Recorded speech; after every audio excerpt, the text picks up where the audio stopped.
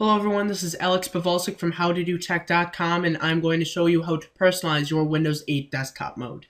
First thing you're going to want to do is put your mouse in the bottom right and bring up the charms bar and then go to settings. Once there, hit personalization. When you're in personalization, at the top you're going to have themes that you've already made or have downloaded onto your computer. You're going to have Windows default themes right there and then high contrast themes at the bottom. If one of these themes isn't exactly the way you want it, you can edit all four of these aspects down at the bottom. First thing you're going to want to edit is your desktop background. You can pick a different area to get photos from, and then once there, you can either select all, clear all, select um, individual ones by check marks, and then you can pick the way they fit on your screen. Whether you cut off the edges so that it fits over the entire screen. You can choose to show those black bars if you want the entire photo shown. You can stretch it and change the aspect ratio of the photo. This doesn't always look amazing. Tile is another one that doesn't always look as aesthetically pleasing, although it would repeat your photo over and over. That way, if it was a very simple photo, you would see it multiple times, or you could center it on your screen. That way, nothing is stretched or cut off, and then you have the black bars. Um, you can also change when these photos switch with right here. You can go anywhere from 10 seconds to one day. Um, chances are you'll want to go with something higher than 10 seconds but that's how you do that right there.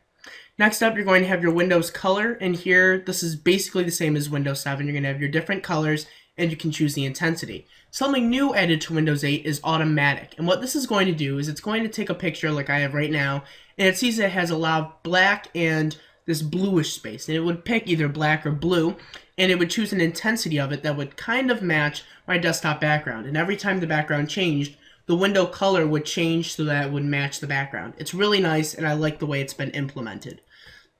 Finally, you have sound. This is exactly the same as Windows 7. You can choose each individual option to put a sound to, and then right now all I have is the Windows default sound.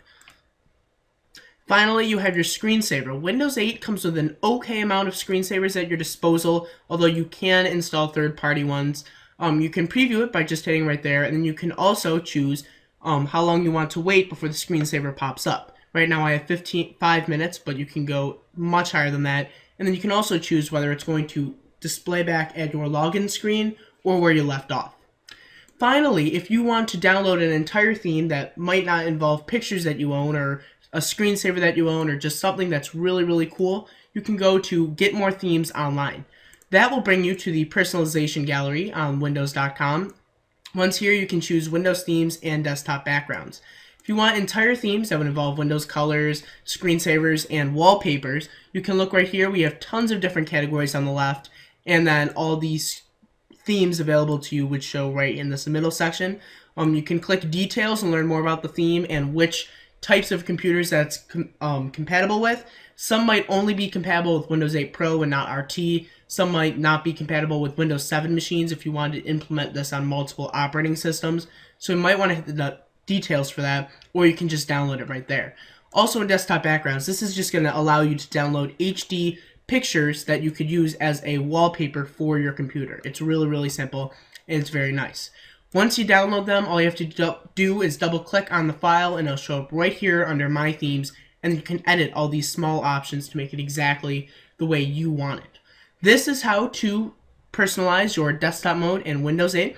We hope this video has helped you. If you have any questions, you can take a look at the written steps down below for a little bit more details on it, or you could email us at howtodotechyt at gmail.com. Be sure to check back at howtodotech.com for more tutorials like this one. I am Alex Pavolsik, and I will see you next time.